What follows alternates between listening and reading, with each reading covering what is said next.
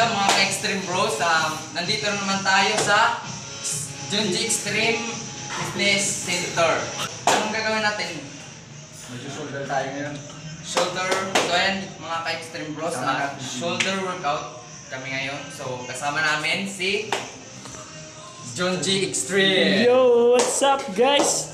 Supportan niyo si Extreme Brothers, syempre, subscribe. Huwag na natin patagalin mga Extreme Bros. Um, simulan na natin! Yes! Go! Kaya namin, stretching kami. Very important yan before mag-workout. So huwag niyo magkakalimutan mag-stretching para iwas injury. So simple rotation sa ginagawa namin.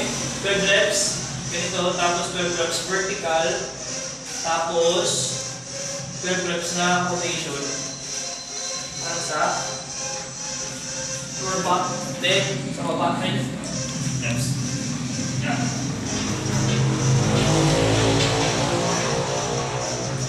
Wow.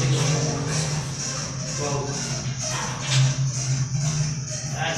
Ayos. Natin gagawin is dumbbell press. Always remember, one warm up, tsaka three working sets. Pwede yung progressive. So sabihin natin progressive, from light to heavy. Okay? Light to heavy. On. Let's go!